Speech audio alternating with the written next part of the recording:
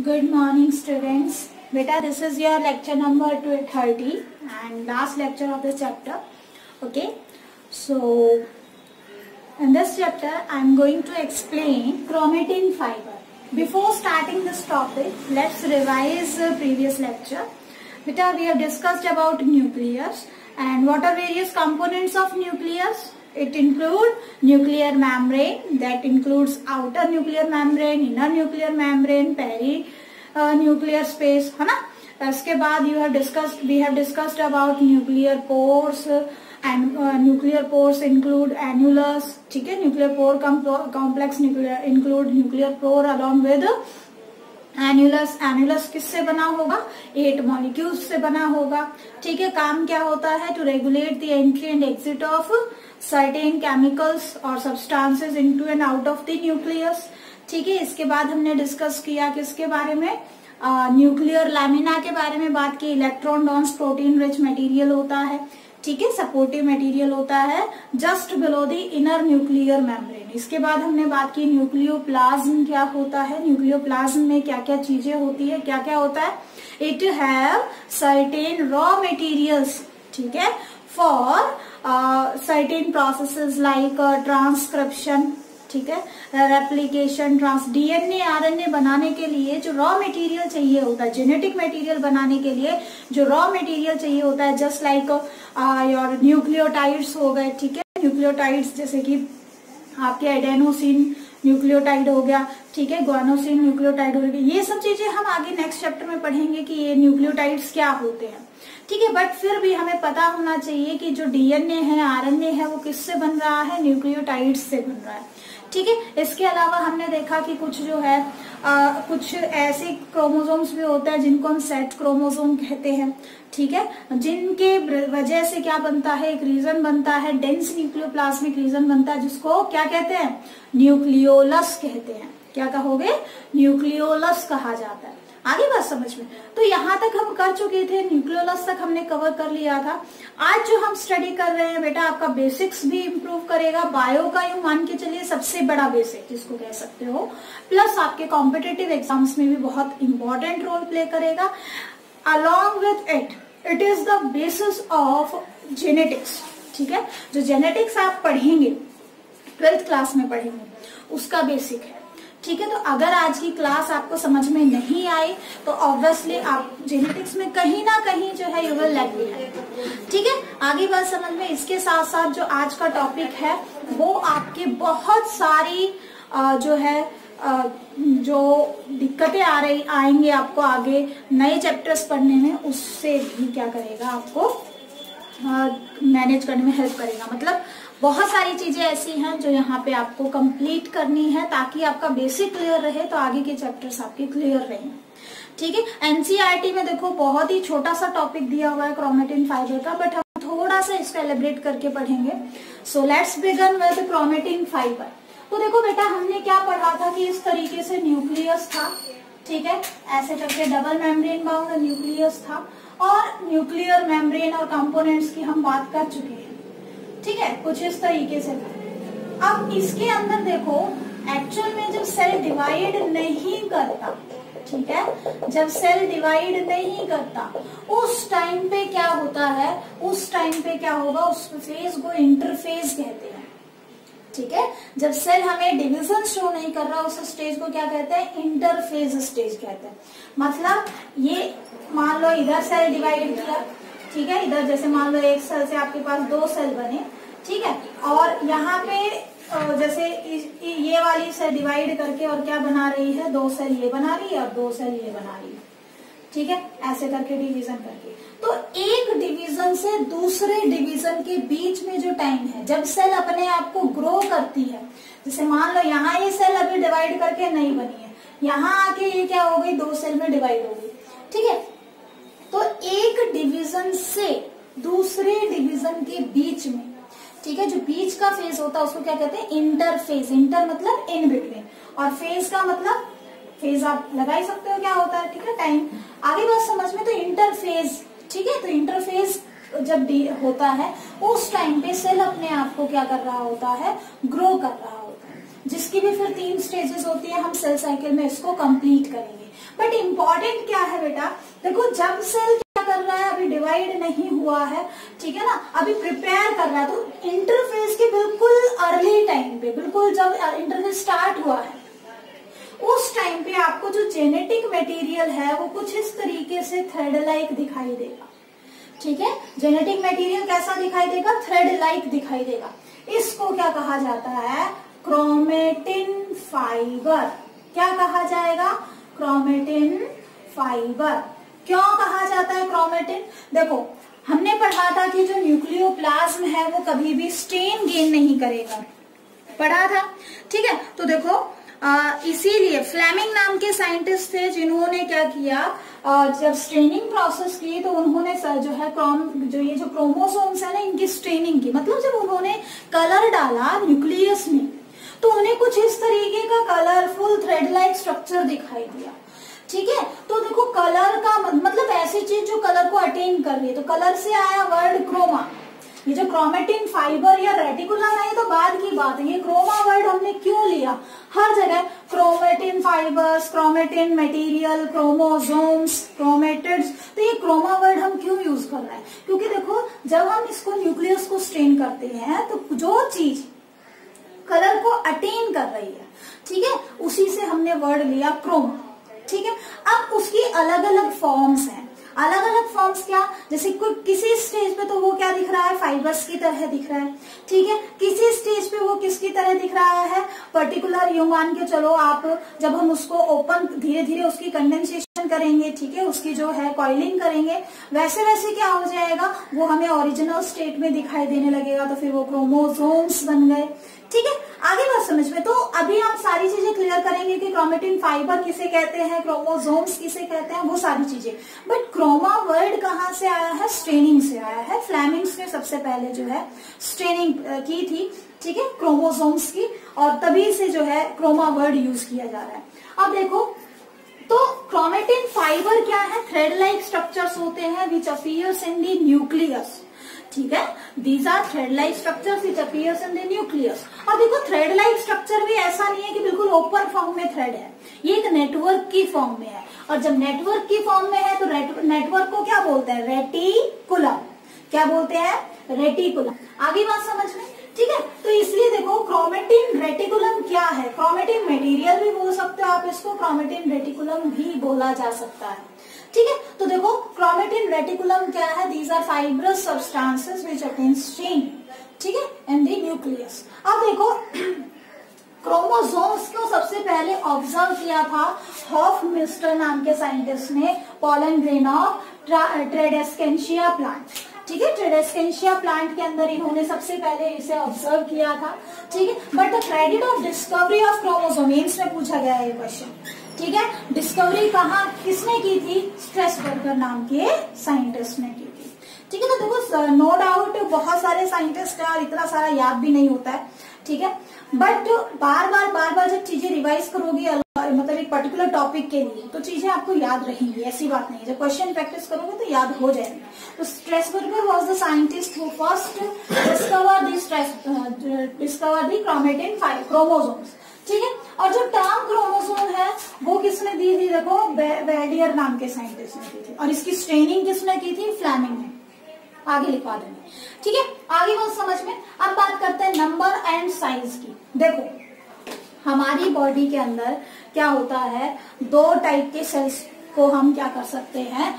Classify कर सकते हैं। ठीक है? हमारी बॉडी के अंदर हम दो साल दो टाइप के सेल्स को क्लासिफाई कर सकते हैं। एक तो वो सेल जो रिप्रोडक्शन में पार्ट लेते हैं, ठीक है? दो cells which are involve in reproduction ठीक है, उन सेल्स को हम क्या बोलते हैं?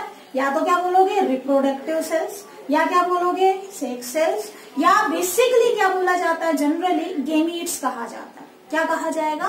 गेमीट्स ठीक है, और कुछ सेल ऐसे होते हैं हमारी बॉडी के जिससे पूरी बॉडी हमारी बनी हुई है। ठीक है? इतना बेसिक आप टेंथ क्लास में या नाइन्थ क्लास में पढ़कर आए। तो देखो, हमारी बॉडी में दो टाइप के सेल है रिप्रोडक्टिव सेल और सोमेटिक सेल रिप्रोडक्टिव सेल्स वो सेल्स होते हैं जो रिप्रोडक्शन में पार्ट लेते हैं। ठीक है? और इन्हें हम दूसरा नाम क्या देंगे? गैमेट्स और जो सेल जिनसे हमारी पूरी बॉडी बनी हुई है, वो कौन से होते हैं? वो होते हैं सोमेटिक सेल्स एनिमल के केस में सोमेटिक सेल कहोगे प्लांट के केस में वेजिटेटिव सेल्स कहोगे. ठीक है? अब देखो, अगर हम बात करें गैमेट्स की तो यहाँ पे सिंगल सेट ऑफ़ क्रोमोसोम है। ध्यान रखना सेट ऑफ़ क्रोमोसोम है सिंगल क्रोमोसोम नहीं है। बच्चे यही कंफ्यूज हो जाते हैं। ठीक है? सिंगल सेट ऑफ़ क्रोमोसोम एक क्रोमोसोम नहीं है। मतलब कि यू मान के ज़रिए अलग अलग सारे के सारे क्रोमोसोम अलग अलग है। ठीक है ना? जैसे देखो, अगर हम बात करें हमारे वेजिटेटिव सेल्स की, हमारे सोमेटिक सेल की, वहाँ टू सेट ऑफ़ क्रोमोसोम है। हम अपना एग्ज़ाम्पल लेते हैं ह्यूमन बींग का एग्ज़ाम्पल लेते हैं। हमारे अंदर 46 क्रोमोसोम है। कितने? 46 क्रोमोसोम लेकिन ये जो 46 क्रोमोसोम है, इसमें से इसमें से हमें मतलब कि 23 आर आइडेंटिकल विद अनदर 23 ठीक है? ये 23 प्लस 23 है। 23 हमें मदर से मिले हैं 23 हमें फादर से मिले हैं। ठीक है? तब जाके जो है क्या हुए हैं? 46 क्रोमोजोम हुए आगे बात समझ में? अब जो 23 क्रोमोजोम है, ये इस मदर के 23 क्रोमोजोम फादर वाले 23 क्रोमोजोम के बिल्कुल सिमिलर है। स्ट्रक्चर के रेस्पेक्ट में जीन्स के रेस्पेक्ट में ठीक है? और साइज़ हो गया शेप हो गया एवरीथिंग ठीक है? डिफरेंस किस चीज़ का होता है कि पर्टिकुलर चीज़ जो जीन है किसी करेक्टर का हो सकता है उस करेक्टर में वेरिएशन जैसे आपने पढ़ा है कि आई कलर आई कलर जो है मान लो मदर का क्या है? मान लो आ, जो है ब्लैक है और फादर का क्या है? ब्लू ठीक है ना? तो ऑब्वियसली आई कलर में वेरिएशन आ रही है. बट जीन तो आई कलर का होगा। है ना? क्या होता जीन ये आप पढ़ चुके हो बट फिर भी आपको बाद में बताएँगे। ठीक है ना? तो देखो, कहने का मतलब है कि एक ही करेक्टर की वेरिएबिलिटी तो मिलेगी इंडिविजुअल के अंदर। लेकिन जो क्रोमोसोम्स हैं, वो बिल्कुल सेम स्ट्रक्चर जैसे आपने होमोलोगस ऑर्गन्स पढ़े हैं। ठीक है? जो है similar in structure different in different in functions तो ऐसे क्रोमोसोम जैसे हमने 23 पेयर बनाने ऐसे करके आपके पास 23 क्रोमोसोम के पेयर होंगे। ठीक है? 23 क्रोमोसोम के पेयर होंगे। मान लो यहाँ पे मैंने one two three four five six seven eight eight chromosomes का पेयर बनाया। तो इसका मतलब ये इधर वाला एक सेट हो गया इस, इस साइड वाला एक सेट हो गया और इस साइड वाला दूसरा सेट हो गया। ठीक है? यानी कि दो सेट हुए। हाँ? आगे बात समझ में। तो मतलब कि जब क्रोमोसोम पेयर में प्रेजेंट है ठीक है ना? जब पेयर में प्रेजेंट होता है तो उसको क्या कहते हैं हम? डिप्लॉइड क्या कहोगे उस कंडीशन में क्या कहोगे? डिप्लॉइड और जब सिंगल प्रेजेंट है तो उसको क्या कहेंगे हम? हैप्लॉइड सिंगल मतलब क्रोमोसोम एक नहीं सेट सिंगल जैसे मान लो, अभी मैंने कहा कि ये ये एक सेट है, ठीक है? ये दूसरा सेट है। आगे बात समझ में? ठीक है? जैसे मान लो सपोज़ करो मैंने आपको फोटोकॉपी करवाने के लिए चार पेज दिए, ठीक है? और अब जब मुझे आगे अथॉरिटी को बताना है, मुझे ऑफ़िस में बताना है कि मुझे कितने बच्चों को देना है, ठीक है? तो मान लो मुझे पाँच बच्चों को देना है तो मैं क्या करवाऊँगी? उन चार के क्या करवाऊँगी? पाँच सेट कॉपी करवाऊँगी। पाँच सेट हो आगे बात समझ में? ठीक है ना? ठीक है ना? तो पाँच सेट के अंदर टोटल क्रोमोसोम कितने होंगे? मान लो सपोज़ करो, पाँच भी छोड़ो, आप यूँ बताओ, दो लो, दो बच्चों को मुझे देना तो मैं उसके दो सेट करवाऊँगी ना? बट देखा जाए टोटल दो सेट में कितने कितने पेज हो गए? दो सेट में फोर टू जा एट है तो टू सेट में कितने? एट पेजेस और एक सेट में फोर पेजेस लेकिन मैं ये थोड़ी कह रही हूँ कि एक एक बच्चे को मैं एक एक पेज दे रही हूँ, एक बच्चे को चार दे रही हूँ। तो वो जो एक पर्टिकुलर मतलब कि एक सेल में क्रोमोसोम्स का एक सेट हो। सेट में कितने भी हो सकते हैं। सेट में दो भी हो सकते हैं, चार भी हो सकते हैं, दस भी हो सकते हैं, कितने भी हो सकते हैं। ठीक है ना? सेट में कितने क्रोमोसोम है? डजेंट मैटर बट एक सिंगल सेट है। उसके जैसे कोई और क्रोमोसोम्स नहीं है। ठीक है? पेयर में नहीं है। तो उस सिंगल सेट को क्या कहा गया है? हैप्लॉइड कंडीशन कही जाती है। ठीक है ना? और हमारे तो जो जो हमारे गैमेट्स है स्पर्म हो गए एग हो गए, उनमें हमेशा सिंगल सेट ऑफ़ क्रोमोसोम होता है और जो वेजिटेटिव सेल्स होते हैं सोमेटिक सेल्स होते हैं, जो हमारे बॉडी के सभी करेक्टर्स को रिप्रेजेंट करते हैं, हमारे बॉडी के सभी करेक्टर्स के लिए रेस्पॉन्सिबल होते हैं, उनको क्या बोलते हैं? बॉडी फॉर्मिंग सेल कह लो वेजिटेटिव सेल्स कह लो या सोमेटिक सेल्स कह लो, ये क्या होते हैं? डिप्लॉयड होते हैं। अब बात आती है कि इनको हेप्लॉयड करने की ज़रूरत क्या पड़ी? ये डिप्लॉयड क्यों नहीं है? ठीक है, देखो डिप्लॉयड क्यों नहीं है? इसका सीधा सा आंसर क्या है? देखो number of chromosome in a particular individual are fix ठीक है? ह्यूमन बींग आप यहाँ का ले लो, चाहे किसी और देश का ले लो, कहीं का भी ले लो नंबर ऑफ़ क्रोमोसोम आपको 46 ही मिलेंगे। ठीक है? तो इसका मतलब देखो, मान लो कोई एक इंडिविजुअल है, उसमें जो बॉडी के सेल्स है, क्या है? टू एन है। ठीक है? किसी दूसरे इंडिविजुअल मान लो इसको मेल मान लिया, इसको फीमेल इसको फीमेल इसको मेल मान लिया, इसको फीमेल मान लिया। जब फ्यूजन होगा, जो जाइगोट बनेगा, उसमें कितने क्रोमोसोम फोर इन क्रोमोसोम ठीक है? जब इनका इसकी मैरिज हुई और इस यहाँ पे मान लो, दूसरा कोई इंडिविजुअल था, उसमें टू इन क्रोमोसोम थे तो फ्यूजन से कितने बने? सिक्स एन बने सिक्स सेट गए यानी कि जितनी बार फर्टिलाइजेशन होगा, जितनी बार जाइगोट बनेगा, उतनी बार हर बार नंबर ऑफ़ क्रोमोसोम इंक्रीज होगा। और जब नंबर ऑफ़ क्रोमोसोम इंक्रीज हो रहा है तो ऑब्वियसली क्या हो रहा है यहाँ पे? नंबर ऑफ़ क्रोमोसोम अगर इंक्रीज हो रहा है तो ऑब्वियसली जो है, क्या होगा? करेक्टर्स में बहुत ज़्यादा वेरिएशन आ जाएँगी। मतलब जो पहले हुए थे, उनमें तो कोई करेक्टर बहुत कम एक्सप्रेशन दे रहा है, और उनमें बहुत ज़्यादा। ठीक है, ऐसा नहीं है। होता क्या है? मान लो ये क्या है आपके? कोई इंडिविजुअल एक मेल एक फीमेल है रिप्रोडक्ट सबसे पहले प्यूबर्टी अटेन करने के बाद हमारे जो रिप्रोडक्टिव सेल्स हैं, वो क्या बनाएँगे? गैमेट्स बनाएँगे। गैमेट्स का मतलब नंबर ऑफ़ क्रोमोसोम्स हाफ़ करके सेल क्या बनाएँगे? ऐसी सेल बनाएँगे जिनमें number of chromosome single set में आ जाए। ठीक है?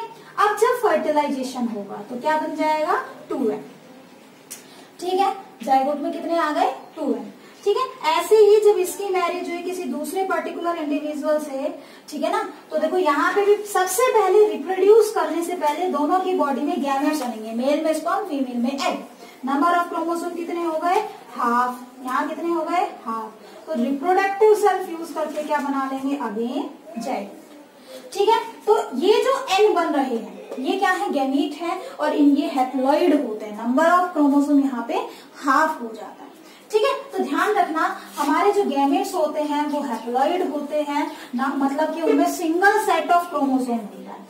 ठीक है? और हमारे जो वेजिटेटिव सेल्स होते हैं, वो सोमेटिक सेल्स कहलाते हैं, जिनमें टू सेट ऑफ़ क्रोमोसोम मिलता है।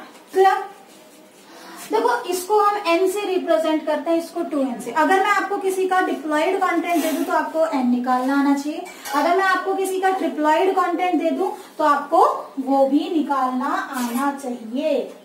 आगे बात समझ में? ठीक है? इसके साथ साथ देखो बेटा, अगर एक से ज़्यादा, दो से ज़्यादा सेट है तो पॉलीप्लॉइडी कंडीशन भी कह सकते हो आप यूप्लॉयडी कंडीशन भी कहा जा सकता है। ठीक है? क्या डिफरेंस होता है वो आगे समझाएँगे आपको। अब देखो, कुछ आपके डाटा है, ठीक है? कॉम्पिटेटिव पॉइंट ऑफ़ व्यू से that you have to learn ठीक है? Minimum number of chromosome in plants Haplopappus gracilis two and four के बराबर है। तो एन कितना हो गया? टू के बराबर, है? Maximum number of chromosome Ophioglossum reticulum के अंदर मिलते हैं, ठीक है? टू एन कितना हो गया? बारह सौ बासठ, ठीक है? कई कुछ बुक्स सिक्सटी भी लिखती है ट्वेल्व सिक्सटी भी लिखती है, कुछ बुक्स ट्वेल्व सिक्सटी टू भी लिखती है। एग्जैक्ट आपका सिक्सटी टू है, ठीक है? फिर भी वेरिएशन थोड़ी बहुत कई बार मिल जाती है। Minimum number of chromosome in animals Ascaris megalocephala ठीक है? टू एन कितने के बराबर है? टू के बराबर। तो यहाँ ये सिंगल हैप्लॉइड में एक ही क्रोमोसोम होगा। ठीक है? Maximum number of chromosome in animals ठीक है? ऑलियोकैंथा प्रोटोजोआ है एक, और टू एन जो है, इसका सिक्सटीन हंड्रेड है। तो देखो, आपको एन से टू एन टू एन से एन और कई बार थ्री एन भी निकालना पूछ लिया जाता है। ठीक है तो आपको पता होना चाहिए कि कौन से सेल हैप्लॉइड है, कौन से डिप्लॉइड है। तो गैमेट्स को छोड़ के बॉडी के सारे सेल्स क्या होते हैं? डिप्लॉइड होते हैं। और प्लांट्स के केस में एंडोस्पम नाम का एक स्ट्रक्चर होता है एंजियोस्पम के अंदर। ठीक है, वो कैसा होता है? ट्रिप्लॉइड वहाँ पे थ्री एन स्ट्रक्चर बनता है। तो इसको जब हम आगे धीरे धीरे पढ़ेंगे तो चीज़ें क्लियर हो जाएँगी। आगे बात समझ में? ठीक है तो एक बार इसका स्क्रीनशॉट ले लो ताकि आगे प्रोसीड कर सके। बेटा, देखो, अभी तक जो बताए हैं मिनिमम और मैक्सिमम नंबर ऑफ़ क्रोमोसोम बताए हैं। I will provide you a list having number of chromosome in certain organisms ठीक है? Copy that in your notebook and उन पे जहाँ निशान लगा हुआ है, जहाँ पे राइट लगा हुआ है, वो इंपॉर्टेंट है that you have to learn बाकी के जो है जस्ट एक बार स्टडी कर लीजिए, कई बार पूछ लिए जाते हैं। ठीक है ना? तो एक बार देख लेना आप वो सारे भी, जैसे ड्रोसोफिला के बारे में है, उसमें हाउस फ्लाई का कितना होता है एवरीथिंग ठीक है ना? बहुत सारे ऑर्गेनिजम्स हैं, सभी के दिए हुए हैं नंबर ऑफ़ क्रोमोसोम उस लिस्ट के अंदर तो वो आप एक बार चेक कर लीजिए और लिख लीजिएगा, ठीक है? नाउ देखो अगर हम बात करें क्रोमेटिन ठीक है? तो क्रोमेटिन वर्ड मैंने बताया था कि कलर्ड मटेरियल्स होते हैं, ठीक है? और ये क्या करते हैं? कलर को अटेन कर लेते हैं because these structures can easily stain इनको हम आसानी से क्या कर सकते हैं? स्टेन कर सकते हैं कलर दे सकते हैं। आगे बात समझ में? ठीक है? और क्रोमेटिन टर्न जो थी that was first given by Flemming और उन्होंने ही जो है जो स्टेनिंग के बेस पे जो है क्रोमेटिन वर्ड हमें दिया था। आगे बात समझ में?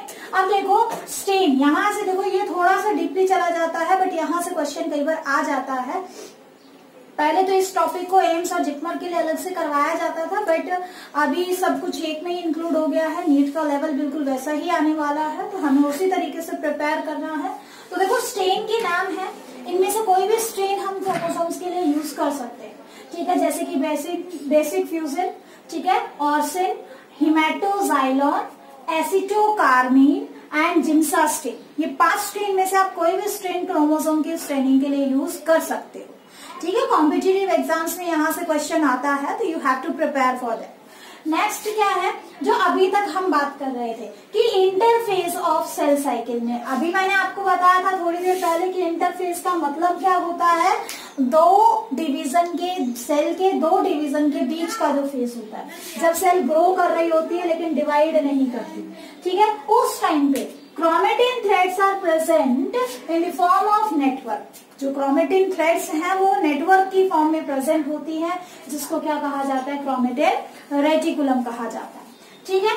अब क्या होता है? जब सेल डिवाइड करता है during cell division in mitotic phase देखो बेटा, ये सेल साइकिल के फ़ेज़ है सेल साइकिल करोगे तो और अच्छे से क्लियर हो जाएँगे। ठीक है ना? तो जब माइटोटिक फ़ेज़ होती है सेल साइकिल की, जब डिवाइडिंग फ़ेज़ होती है सेल साइकिल की, उस टाइम पे जो क्रोमेटिन थ्रेड्स हैं, ठीक है? दे बिकम कॉइल्ड कॉइल्ड का मतलब वो कंडेंस हो जाते हैं, उनके अंदर से जो एक्स्ट्रा मटेरियल है वो बाहर आ जाता है एक्स्ट्रा इन द सेंस कि अब वो अपनी ओरिजिनल लुक में आना स्टार्ट होते हैं। ठीक है ना? वो कॉइल हो जाते हैं, बहुत ज़्यादा वो थ्रेड कॉइल्ड हो जाते हैं। ठीक है? And the chromatin threads become coil condensation होती है। They appear to be thick rod like और बिल्कुल थिक रॉड लाइक हो जाते हैं। ठीक है, पहले तो फाइबर्स की फॉर्म में था उन्हीं फाइबर्स को आपने बहुत ज़्यादा कॉइल कर दिया है और रॉड लाइक बना दिया। जैसे मान लो सपोज़ करो ये हमारे पास क्या है? क्रोमोसोम की थ्रेड्स है और जब ये ऐसे ऐसे है, इस पोजीशन में है, ठीक है, तब तो क्या है? टोमेटिन रेटिकुलम की फॉर्म में जब ये ऐसे है।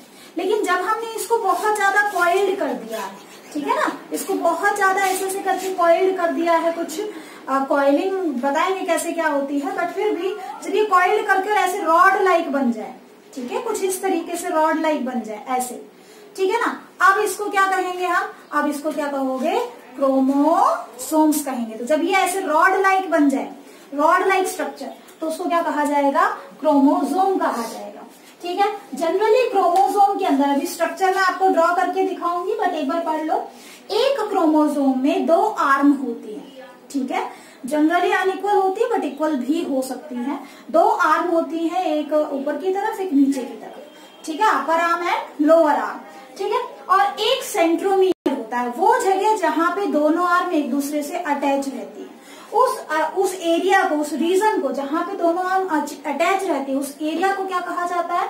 सेंट्रोमियर जैसे देखो, अभी रफ डायग्राम बना रही हूँ, ये आपका सेंट्रोमियर है, ये एक आर्म हो गई ये दूसरी आर्म हो। आगे बात समझ में? ठीक है? तो देखो, ये एक आर्म ये दूसरी आर्म और वो जगह जहाँ पे दोनों आर्म एक दूसरे से अटैच होती है, उस आर्म को क्या, उस रीजन को क्या बोलते हैं? सेंट्रोमियर अब देखो, ये ऐसा हिस्सा है जो थोड़ा सा भिजा हुआ है। भिजा हुआ मतलब कि कंस्ट्रिक्टेड है। ठीक है ना? तो इसी को हम क्या बोल देते हैं? प्राइमरी कंस्ट्रिक्शन क्या बोलोगे? प्राइमरी कंस्ट्रिक्शन समझ में आया? ठीक है? तो देखो सेंट्रोमियर जो है सेंट्रोमियर वो जगह है जहाँ क्रोमोसोम की दोनों आर्म अटैच रहती है एक दूसरे से। क्लियर देखो, ये बेसिक है सेल डिवीज़न नहीं तो समझ में नहीं आएगा तो आपको ये बहुत अच्छे से करना है। अब देखो क्रोमोसोम्स जो है, ये थोड़ा सा नोट की फॉर्म में है, कई बार यहाँ से क्वेश्चन आ जाता है। एक क्रोमोसोम में। अगर दोनों आर्म्स इक्वल है, ठीक है? ऐसे क्रोमोसोम को क्या कहोगे? आइसोब्रैकियल क्रोमोसोम ठीक है? और अगर वहाँ पे अनइक्वल अनइक्वल आर्म से एक बड़ी है, एक छोटी है, उसको बोल देते हैं हिट्रोब्रैकियल क्रोमोसोम ठीक है जस्ट टर्म है that you have to know next है दो सेंट्रोमियर इन अ क्रोमोसोम अगर एक सेंट्रोमियर की बजाय दो सेंट्रोमियर आपको मिलते हैं, ठीक है? तो ऐसे क्रोमोसोम को बाइसेंट्रिक क्रोमोसोम कहा जाता है, जैसे कि मेज के अंदर हमें मिल सकते हैं ऐसे क्रोमोसोम ठीक है? अब ये ना हमने मोनोसेंट्रिक देखा था डायग्राम में बाइसेंट्रिक भी हो सकते हैं. ठीक है?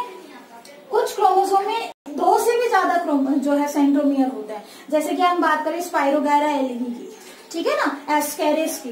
वहाँ पे क्या मिलेगा आपको? More than one centromere in a chromosome ठीक है? वन में मोर देन टू सेंट्रोमियर तो उसको बोलते हैं पॉलीसेंट्रिक क्रोमोसोम क्लियर ठीक है? नेक्स्ट इज़ बेटा बाई चांस किसी कारण से, किसी म्यूटेशन के कारण से, किसी चेंज की वजह से सेंट्रोमियर किसी क्रोमोसोम में एबसेंट है। मान लो आपका क्रोमोसोम ऐसे है, ठीक है? और कोई भी सेंट्रोमियर नहीं है यहाँ पे। आगे बात समझ में? तो ऐसे वाले क्रोमोसोम को क्या कहेंगे? Acentric chromosome. और जनरली ये एबनॉर्मल कंडीशन को क्रिएट कर देता है, ठीक है? तो acentric chromosome bicentric monocentric, ये सारी चीज़ें आपको आनी चाहिए। एक बार इसका स्क्रीनशॉट ले लो। नाउ बेटा, एक नॉर्मल क्रोमोसोम की अगर बात की जाए ठीक है, एक सिंगल क्रोमोसोम की बात की जाए। ठीक है, देखो डायग्राम में जो आप देखते हो दैट इज़ मेटाफिजिक क्रोमोसोम आगे बात समझ में? मेटाफिजिक क्रोमोसोम को हम लेटर सेक्शन में डिस्कस करेंगे बट यहाँ पे पहले एक क्रोमोसोम को अच्छे से समझो। ठीक है, ये बेसिक्स है, बहुत इंपॉर्टेंट है।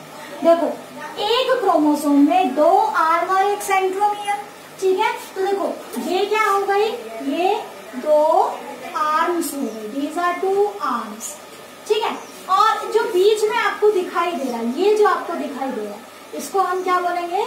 इसको बोलेंगे सेंट्रोमियर ध्यान रखना, जब स्ट्रेनिंग करते हैं तो सेंट्रोमियर स्ट्रेन अटेन नहीं करता नॉन स्ट्रेनिंग पार्ट ठीक है? तो सेंट्रोमियर क्या हुआ? Where both arms of chromosomes remain attach ठीक है? दोनों आर्म्स यहाँ पे अटैच होती है।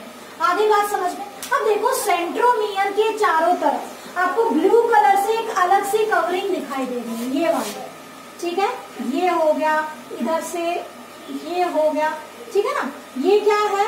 ये है काइनेटोको काइनेटोको क्या मतलब होता है काइनेटोकोर का? ये क्या होती है? सेंट्रोमियर के आउटर सरफेस पे प्रोटीन की प्लेट्स होती है। ये ध्यान रखना, ये पूछा गया है बाई कंपोजिशन क्या होता है? प्रोटीन की प्लेट्स होती हैं। That are known as kinetochore काम क्या होता है? देखो, जब सेल डिवीज़न होगा, जैसे मान लो हमने पढ़ा है ये स्पिंडल फाइबर बना, यहाँ पे आपका सेंट्रियोल है, यहाँ पे सेंट्रियोल है, और क्रोमोसोम इस तरीके से अलाइन होंगे मेटाफेजिक तो देखो काइनेटोकोर से स्पिंडल फाइबर अटैच होंगे आगे बात समझ में? ये क्वेश्चन कई बार पूछा गया है कि किससे अटैच होते हैं। तो किससे अटैच होते हैं? काइनेटोकोर से। At kinetochore 4 to 50 spindle fibers get attached and provide the force. Force भी प्रोवाइड करते हैं फॉर क्रोमोजोमल मूवमेंट ताकि क्रोमोजोम्स सेपरेट हो जाए और मूवमेंट हो ड्यूरिंग सेल डिवीज़न क्लियर ठीक है? अब kinetochores are the centre where spindle fibres are attached during the cell division आगे बात समझ में? ठीक है? तो काइनेटोकोर क्या होता है? मे बी आपके माइंड में क्लियर हो गया होगा कि सेंट्रोमियर के सरफेस के ऊपर क्या प्रेजेंट होते हैं? कुछ इस तरीके से क्या प्रेजेंट होती है? प्रोटीन की प्लेट होती है।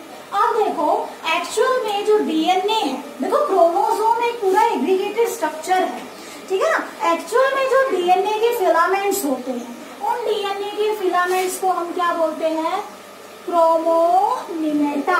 क्या बोलोगे? क्रोमोनिमेटा। आगे बात समझ में? क्रोमो क्रोमो निमा बोल दो। ठीक है? या क्या बोल सकते हो, क्रोमोनिमेटा बोल सकते हो। ठीक है ना? तो क्रोमोनिमा क्या होता है या क्रोमोनिमेटा क्या होता है? देखो these are filaments of DNA ये डीएनए ही है। ऊपर भी आप नीचे भी है, ठीक है ना? Filaments of DNA which are present throughout the length of chromosome जो पूरे क्रोमोसोम में प्रेजेंट आ गया समझ में? तो क्रोमोनिमा या क्रोमोनिमेटा सेम ही चीज़ है, ठीक है ना? इसको ही हम जो है, इसी को हम क्रोमोनिमेटा भी बोल सकते हैं। क्रोमोनिमेटा ठीक है? आगे बात समझ में? अब देखो, जो इम्पोर्टेंट चीज़ आपको नोट करनी है, देखो जब क्रोमोसोम की फॉर्मेशन होती है, उस टाइम पे क्या होगा? उस टाइम पे ये कुछ ऐसे कहीं कहीं ये जो कॉइलिंग शो कर देता है, ठीक है ना? कॉइलिंग शो कर देता है उस हाईली कॉइल्ड क्रोमोनिमेटा को। कॉइल्ड क्रोमोनिमेटा को क्या कहा जाता है? क्रोमोमियर क्रोमोमियर आ गई बात समझ में? ये जो ये जो गोल गोल आपको दिखाई दे रहे हैं ना, ये कॉइल्ड कॉइल्ड डीएनए फिलामेंट है। ठीक है ना? तो देखो क्रोमोमियर क्या होता है? Bead like accumulation of chromatin material समझ में आ गया? ठीक है? अब देखो, ये चारों तरफ़ इसकी प्रोटेक्शन के लिए क्रोमोनिमेटा की, यानी कि डीएनए की प्रोटेक्शन के लिए क्या होता है? मैट्रिक्स होता है। But this is non genetic part non genetic का मतलब जिसमें डीएनए नहीं है। तो matrix is non genetic part bounded by bounded by देखो, ये जो ग्रीन कलर से दिखाया है, ये तो क्या हो गया है? मैट्रिक्स इसको क्या बोलेंगे? मैट्रिक्स ठीक है? और ये जो आपको ब्लैक कलर से जो लाइनिंग दिखाई दे रही है, इसको क्या बोलेंगे? पेलिकल क्या बोलोगे? पेलिकल आई थिंक समझ में आ गया होगा। तो बेटा ये क्या है? ये आपका एक क्रोमोसोम का स्ट्रक्चर है। लेकिन ध्यान रखना, ये क्रोमोसोम कब है? ये क्रोमोसोम है इंटरफेज के टाइम पे। ठीक है ना? Structure of interphase interphase chromosome. आ गई बात समझ में? किसका स्ट्रक्चर है ये? इंटरफेस के टाइम पे क्रोमोसोम का स्ट्रक्चर है। देखो बुक्स में सब कुछ इंटरमिंगल करके दिया हुआ है। ठीक है कंफ्यूज हो जाओगे। इसीलिए थोड़ा सा बड़ी हो जाएगी वीडियो बट आपने इस तरीके से ही करना है ताकि कॉन्सेप्ट क्लियर रहे। ठीक है तो this is structure of one single chromosome screenshot ले लीजिए इसका।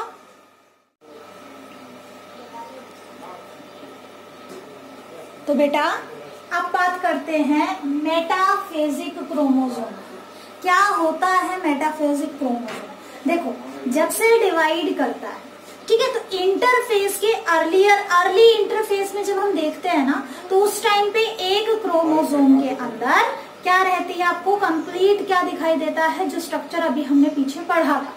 ठीक है, लेकिन जब एस फ़ेज़ आती है, ठीक है ना, जब क्या होती है?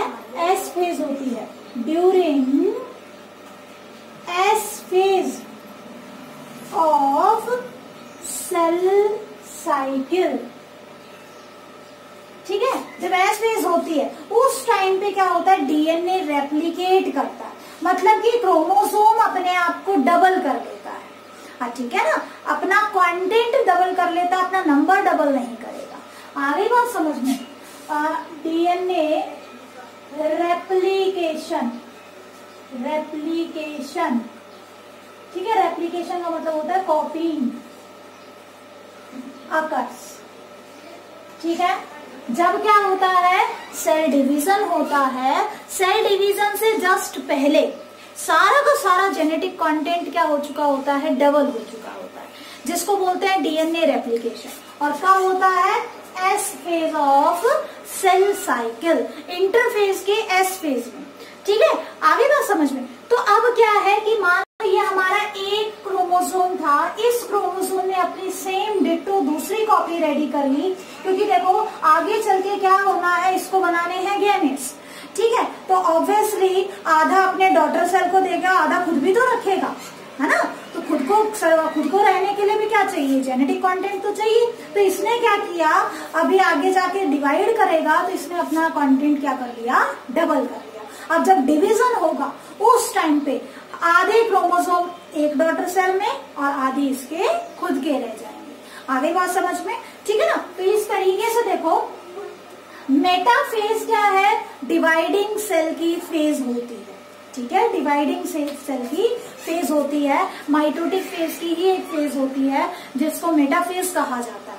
तो इस टाइम पे ऑब्वियसली हमारे पास डीएनए कंटेंट कितने रहेंगे? दो। लेकिन बिल्कुल एक दूसरे के सिमिलर होंगे। ठीक है? तो देखो, क्या है? मेटा, अब हम जो नॉर्मली क्रोमोसोम की स्टडी करते हैं, ठीक है ना? नॉर्मली जो है, हम स्टडी करते हैं, वो कब करते हैं? Metaphase metaphase is the best phase metaphase क्या है? बेस्ट फ़ेज़ होती है। Best phase to study to study morphology morphology of chromosome. क्यों?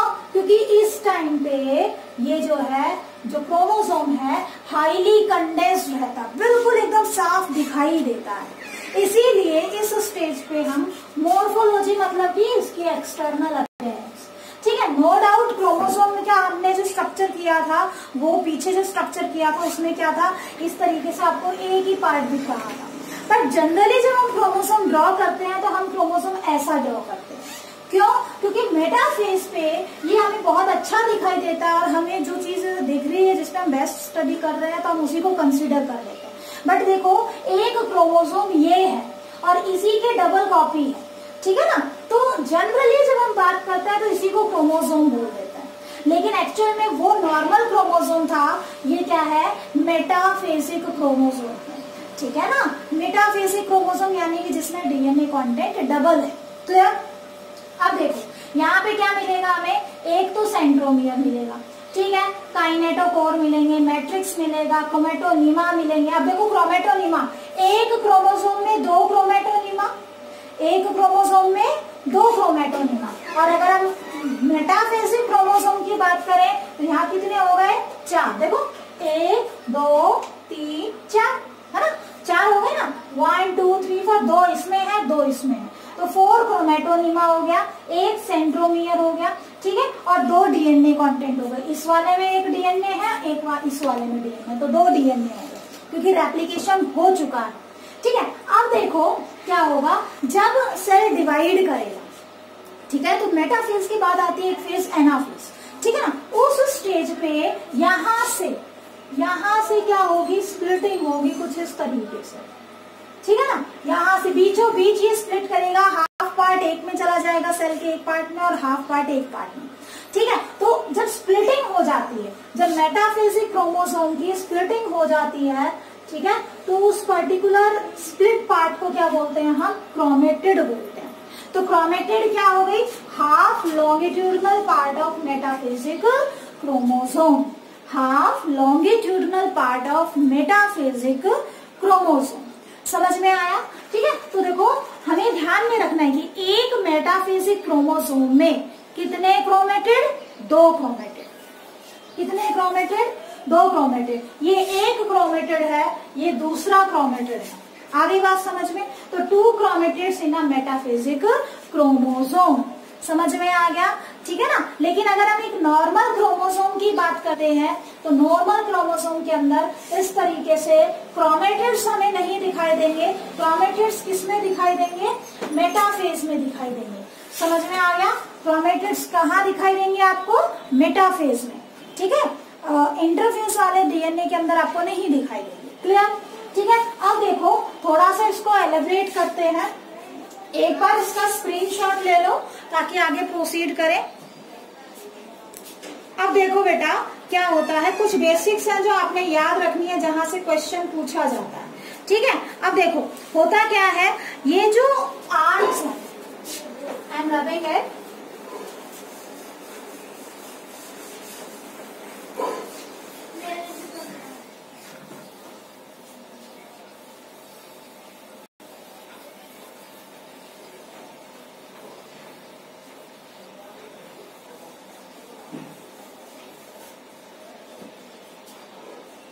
ये देखो। जैसे हमारे पास ये क्रोमोसोम है, ठीक है? मैं मेटाफेसिक क्रोमोसोम की बात कर रही हूँ। ये क्रोमोसोम है, ठीक है? तो इसको क्या बोला जाता है? ये एक क्रोमेटेड है। यहाँ पे क्या क्या है हमारे पास? टू क्रोमेटेड्स है। Two chromatids. क्लियर ठीक है? और ये दोनों क्रोमेटिड्स देखो, एक ही सेंट्रोमियर से अटैच्ड है। जब दो क्रोमेटिड एक ही क्रोम सेंट्रोमियर से अटैच होती हैं तो उसको क्या बोलते हैं? हम बोलते हैं सिस्टर। Sister chromatids. क्या बोलोगे बेटा? Sister chromatids. समझ में आ गई बात? और ये जो कंडीशन है, दो सिस्टर क्रोमेटिड क्या बनाती हैं? एक डायड बनाती है। डायड का मतलब दो। ध्यान रखना डायड में जो डीएनए का कंटेंट है, वो बिल्कुल सिमिलर है एक का दूसरे से। ठीक है तो एक डायड में दो क्रोमेटेड एक डायड में दो क्रोमेटेड आगे बात समझ में? ठीक है, अब देखो होता क्या है। हमने कहा कि हमारे सेल में डिप्लॉइड कंटेंट यानी एक क्रोमोसोम की दूसरी कॉपी भी है। ठीक है? और मतलब हमें एक क्रोमोसोम अगर किसी करेक्टर का हमारे मदर से मिल रहा है तो सेम ही करेक्टर का दूसरा क्रोमोसोम हमें किससे मिल रहा है? हमारे फादर से भी मिल रहा है। ठीक है ना? तो इसको थोड़ी देर के लिए मान लेते हैं मेटरनल क्रोमोजोम इसको क्या मान लिया हमने? मेटरनल क्रोमोजोम ठीक है? इस वाले को। ठीक है? और दूसरा क्रोमोसोम हम ले लेते हैं, मान लो पेटर्नल क्रोमोसोम ये हमने बना लिया है paternal chromosome. This one is paternal chromosome. Paternal chromosome. ठीक है तो देखो जब maternal chromosome paternal maternal for mother paternal for father ठीक है तो जब मेटर्नल क्रोमोसोम पैटर्नल क्रोमोसोम के साथ पेयर बन, बनाता है पेयरिंग करता है। जैसे मान लो ये एक क्रोमोसोम है ठीक है? और ये दूसरा क्रोमोसोम है। ये मदर से आया है, फादर से आया बस दिखने में बिल्कुल सिमिलर है। ठीक है ना? तो जब ये एक दूसरे के नज़दीक ऐसे पेयर बनाते हैं, ठीक है? तो pair of maternal and paternal chromosomes उसको क्या कहा जाता है? उसको कहा जाता है होमोलोगस इनको क्या कहा जाएगा? होमोलोगस क्रोमोसोम्स अब होमोलोगस क्रोमोसोम देखो होमोलोगस वर्ड आप पहले भी पढ़ चुके हो टेंथ क्लास में। पढ़ा है ना आपने? होमोलोगस क्रोमोसोम आप टेंथ क्लास में पहले ही पढ़ चुके हो। होमो मतलब सेम ठीक है ना? तो होमोलोगस का मतलब जिनका बेसिक स्ट्रक्चर तो सेम है, लेकिन फ़ंक्शन थोड़ा बहुत कहीं ना कहीं वेरिएट कर रहा है। अब फ़ंक्शन कैसे वेरिएट कर रहा है? मान लो किसी करेक्टर का आई कलर का जीन यहाँ पे है, इस मेटरनल क्रोमोसोम पे है, और मदर से आपको जो जीन मिल रहा है आई कलर का वो है ब्लैक कलर ठीक है? और फादर से जो मिल रहा है, मान लो ब्लू ब्लू कलर मिल रहा है तो ब्लू कलर का जीन यहाँ होगा, और जो है ब्लैक कलर का जीन यहाँ होगा। बट दोनों होंगे किसके? आई के। ठीक है? तो हमारे पास हमारे मदर के और फादर के टोटल जीन्स है।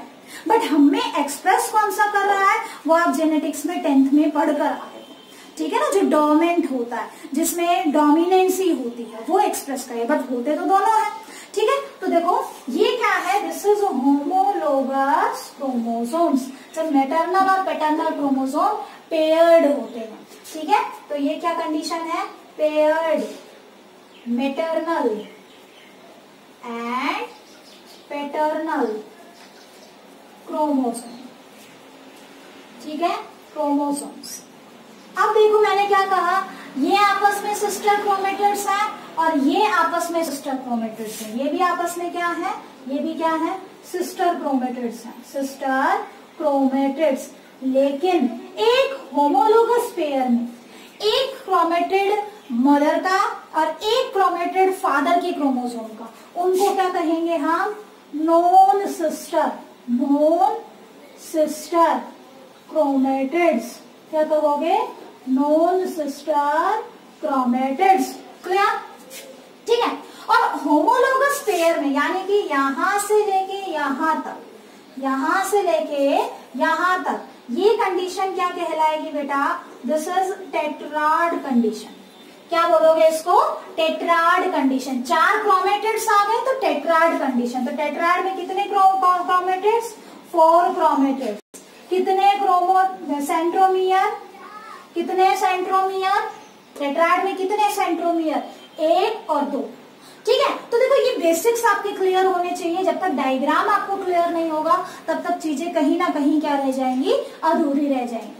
ठीक है? तो इसीलिए मैंने यहाँ तक करवाया है। अब एक छोटा सा कॉन्सेप्ट बचता है। एक तो सेट क्रोमोसोम का बचता है और दूसरा बचता है आपका types of chromosomes on the basis of चलो ये मैं साथ साथ ही करवा देती हूँ। एक बार इसका स्क्रीनशॉट ले लो बेटा। Now beta, we have different types of chromosomes on the basis of centromere. ठीक है? सेंट्रोमियर की location on the basis of location of location of centromere ठीक है? कि सेंट्रोमियर कहाँ पे? बहुत ही आसान सा है, देखो। अगर सेंट्रोमियर बिल्कुल बीच में है, ठीक है? तो उसको क्या बोलते हैं? मेटासेंट्रिक क्रोमोसोम ये हमने मेटाफेज वो मेटाफेजिक था। कंफ्यूज मत होना। ठीक है ना तो आप मेटाफेजिक भी बना सकते हो, आप नॉर्मल क्रोमोसोम भी बना सकते हो। तो मेटासेंट्रिक क्रोमोसोम का मतलब क्या है? दोनों आर्म्स इक्वल है। आर्म रेशियो यानी कि length of longer arm upon में लेंथ ऑफ़ शॉर्टर आर्म ठीक है? आर्म रेशियो भी क्या है आपका? वन है मतलब बराबर है दोनों की लेंथ और जो है वी शेप एनाफेज पे दिखते हैं। मतलब क्या होता है वी शेप देखो, मैंने कहा एनाफेज वो स्टेज है जब क्रोमोसोम आपस में सेपरेट करेंगे। मान लो मेटाफेज पे ऐसे प्लेट पे आके अरेंज हो जाते हैं। एनाफेज पे ये क्या है? ऐसे जहाँ से इनका जो सेंट्रोमियर वहाँ से ऐसे सेपरेट होते हैं। आपको ये सब चीज़ें जब हम साइकिल पढ़ाएँगे तो क्लियर हो जाएँगे। तो एनाफेज पे ये कैसा दिखाई देता है बेटा? वी शेप दिखाई देता है। देखो, ऐसे खींचेगा। ठीक है? ना सेंट्रोमियर से खिंचता है। तो ये शेप कैसी बन जाती है? वी शेप यहाँ से क्वेश्चन आता है और जो है आपके कॉम्पिटेटिव लेवल से इसको आपको प्रिपेयर करना है। एनसीआरटी में भी दिया हुआ ठीक है? दूसरे क्या है? अब हमारे क्रोमोसोम की लोकेशन जो है किसी एक पर्टिकुलर एंड की तरफ़ शिफ्ट हो गई। मतलब कि ऐसा ऐसा क्रोमोसोम जहाँ पे सेंट्रोमियर बीच में ना होके आइदर अपवर्ड स्लाइटली अपवर्ड और स्लाइटली लोअर डायरेक्शन में हो, ठीक है ना? तो उसको क्या कहते हैं हम? सब मेटासेंट्रिक क्रोमोसोम ठीक है? तो देखो one arm is slightly longer than other arm ये वाली आपको लंबी दिख रही है, ये वाली आपको छोटी दिख रही है। बट यहाँ पे इक्वल आर्म्स थी। यहाँ पे क्या थी आपकी? इक्वल आर्म्स थी। ठीक है ना? आगे बात समझ में आइसोब्रेकियल क्रोमोसोम हमने कहा था जहाँ पे। ठीक है? और ये क्या है? ये आपका हिट्रोब्रेकियल है। ठीक है ना? ये क्या हो गई? शॉर्ट आर्म हो गई और ये नीचे वाली क्या हो गई? आपकी लॉन्ग आर्म हो गई। ठीक है? तो जब लॉन्ग आर्म और शॉर्ट आर्म हो डिफरेंस कुछ खास ज़्यादा ना हो, ठीक है? तो उसको क्या कहेंगे हम? सब मेटासेंट्रिक क्रोमोसोम और देखो, जब ये सेपरेट होगा ठीक है? जब एनाफेज के टाइम पे जब ये सेपरेट होगा तो ऑब्वियसली किस टाइप का, इसको लॉन्गर आर्म को मैं ऊपर बना रही हूँ, किस टाइप से होगा, कुछ इस तरीके से सेपरेट होगा। ठीक है ना? एनाफेज पे। ड्यूरिंग एनाफेज एनाफेज के टाइम पे ये कैसा दिखाई देगा? ये कुछ इस तरीके का दिखाई देगा। ठीक है? तो इसको हम क्या बोलेंगे? इसको बोलेंगे J shape sorry L shape L shape आगे बात समझ में? एल लाइक लेटर बना रहा है। ठीक है? ये वी लाइक लेटर बना रहा था। तीसरा है, अब जो है, बिल्कुल एंड की तरफ़ हो गया। सेंट्रोमियर नियर वन एंड तो उसको क्या कहा जाएगा? एक्रोसेंट्रिक क्रोमोसोम ठीक है? तो आर रेशियो वहाँ मोर देन वन था। स्लाइटली मोर देन वन था। यहाँ पे एक से काफ़ी ज़्यादा होगा ठीक है? और शेप कैसी हो जाएगी? जे शेप ठीक है ना? कुछ इस तरीके से जे शेप हो जाएगी। ऐसे करके। ठीक है? वो एल शेप बनेगा, ये जे शेप बनता है। ठीक है? अल्टीमेटली अब अगर हमारा सेंट्रोम क्रोमोसोम का सेंट्रोमियर बिल्कुल टिप पे आ जाए टीलोमियर पे आ जाए। टीलोमियर बताया था ना टिप होती है। ठीक है? तो टिप पे आ जाए तो उसको बोलते हैं टीलोसेंट्रिक क्रोमोसोम क्या बोलोगे? टीलोसेंट्रिक क्रोमोसोम समझ में आया? टीलोसेंट्रिक क्रोमोसोम ठीक है? तो टीलोसेंट्रिक क्रोमोसोम में सेंट्रोमियर है टर्मिनल पोजिशन ठीक है ना? एंड ओनली वन आर्म जो है प्रेजेंट होगी। ये वर्म आर्म ही है लॉन्गर आर्म होती है। और रॉड शेप या फिर यूँ कहो कि आई शेप रॉ शेप या आई आई लेटर आई की तरह स्मॉल आई लेटर ठीक है? क्योंकि देखो, ऊपर आपको ऐसे ऐसे इस तरीके का दिखाई देगा क्रोमोसोम ठीक है ना? तो आई शेप क्रोमोसोम आपको दिखाई देगा। कब? जब टिलोसेंट्रिक क्रोमोसोम होगा एनाफेज के टाइम पे। क्लियर तो these are four different types of chromosomes on the basis of आपके थ्योरी में भी इस टाइप के क्वेश्चंस आते हैं कि सेंट्रोमियर की लोकेशन के बेस पे क्रोमोसोम्स बताओ। ठीक है ना? तो हमारे पास चार टाइप है। मेटासेंट्रिक सब मेटासेंट्रिक एंडोसेंट्रिक एंड टिलोसेंट्रिक ठीक है? One two three four four types आपने करनी है। One two three and four ये चार टाइप्स आपको पढ़नी है। On the basis of location of centromere now एक लास्ट पोर्शन रह गया है दैट इज़ सेट क्रोमोसोम हालाँकि मैंने पहले भी बताया है आपको, ठीक है ना? तो सेट क्रोमोसोम होता क्या है? इसे हम कहते हैं सैटेलाइट क्रोमोसोम बट यहाँ सेट का मतलब सैटेलाइट नहीं है. क्यों नहीं है? इसका एग्जैक्ट मीनिंग मैं आपको बताऊँगी. ठीक है? बट सैटेलाइट का मतलब क्या होता है? देखो सैटेलाइट जो हमें दूर से पहचान में आए उसको क्या कहते हैं? सैटेलाइट तो ये क्रोमोसोम मार्कर का काम कर रहे हैं। मतलब इनकी पोजीशन इनकी लोकेशन जो है, वो फिक्स होती है। ठीक है? हमारी बॉडी के अंदर कुछ ही क्रोमोसोम ही ऐसे हैं जिनको सैटेलाइट क्रोमोसोम कहा जाता है। ठीक है? तो देखो, सबसे पहली बात कि इन सम क्रोमोजोम कुछ ही क्रोमोजोम में, सभी क्रोमोजोम के अंदर नहीं होता है। केवल एक क्रोमोसोम के अंदर ही क्या होता है? एक सेकेंडरी कंस्ट्रिक्शन दिखाई देती है। देखो बेटा, ये नॉर्मल क्रोमोसोम है और इसका ये जो सेंट्रोमियर है, इसको हमने क्या नाम दिया था? इसको हमने कहा था प्राइमरी कंस्ट्रिक्शन क्या कहा था? प्राइमरी कंस्ट्रिक्शन लेकिन जो सेट क्रोमोसोम होते हैं, इनके अंदर क्या होता है? इनके अंदर यहाँ पे इस तरीके से सेकेंडरी कंस्ट्रिक्शन हमें देखने के लिए मिलती है। ठीक है? इस सेकेंडरी ये सेकेंडरी कंस्ट्रक्शन को हम एनओ भी एन ओ आर भी कहते हैं। न्यूक्लियोलर ऑर्गेनाइजिंग रीजन ठीक है? समझ में आया? तो देखो सेकेंडरी कंस्ट्रक्शन जब किसी क्रोमोसोम में हो, एक कंस्ट्रक्शन के अलावा अलग से कोई कंस्ट्रक्शन हो, उसको क्या कहते हैं आप? सेट क्रोमोसोम ठीक है? Below secondary construction a small part is present secondary construction के नीचे की तरफ़ क्या है छोटा सा हिस्सा हमें दिखाई देता है, जिसको क्या कहा जाता है? सैटेलाइट कहा जाता है, या इसी को क्या कह देते हैं हम? टर्बेंट भी कह देते हैं। ठीक है? तो देखो below secondary construction a small part is present known as satellite और ट्रेबेंट समझ में आया? ठीक है? इसके अलावा देखो बेटा chromosome having satellites are known as SAT chromosome उनको क्या कहा जाएगा? सेट क्रोमोसोम कहा जाएगा। ठीक है तो this one is SAT chromosome और देखो, ये इस तरीके से हमें मतलब कि जब हम स्ट्रेनिंग वगैरह करते हैं तो हमें अलग से सेकेंडरी कंस्ट्रक्शन दिखाई देती है, क्योंकि देखो सेंट्रोमियर और या कंस्ट्रक्शन से क्या होगा? स्ट्रेन तो होगा नहीं। ठीक है तो हमें पहचान में आ जाते हैं कि ये क्रोमोजोम सेटेलाइट क्रोमोजोम होता है। ठीक है, यहाँ पे देखो सेट का मतलब होता है साइन एसिड एसिड थाइमोन्यूक्लिनिको ठीक है साइन एसिड थाइमोन्यूक्लिनिको समझ में आया है तो सेट पोर्शन जो होता है, इसमें बेसिकली क्या होता है? ये जो सेट पोर्शन है ना, ये वाला सेट पोर्शन जो रेड कलर से आपको दिख रहा है, ये सेट पोर्शन क्या है? यहाँ पे थाइमोन्यूक्लिक एसिड होता है, जो कि वेरी यूनिक पार्ट है, ठीक है? हमें पूरे डीएनए में कहीं पे थाइमोन्यूक्लिक एसिड नहीं मिलेगा बट जो है, इस रीजन में यूनिकली हमें क्या मिलता है? थाइमोन्यूक्लिक एसिड मिलता है, ठीक है? क्या फ़ंक्शन होता है, क्या नहीं होता, वो हम बाद में कभी डिस्कस करेंगे बट फ़िलहाल के इतना जो नॉलेज है that is more than sufficient clear अब जो क्रोमोसोम्स है SAT chromosomes are use as marker chromosome क्या बोलते हैं हम इनको? मार्कर क्रोमोसोम्स बोलते हैं। क्यों बोलते हैं मार्कर क्योंकि मैंने बताया कि हमें दूर से ही दिखाई देते हैं।